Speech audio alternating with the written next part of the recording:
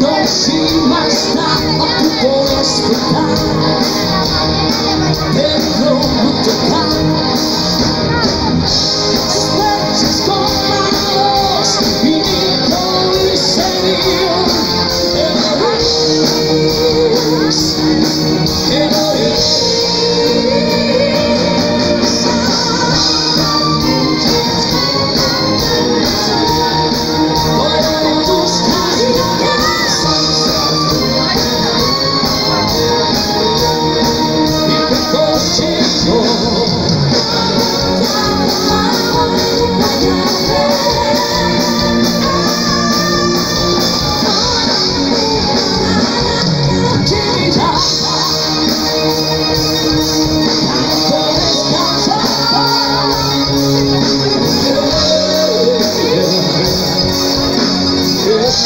yeah, yeah.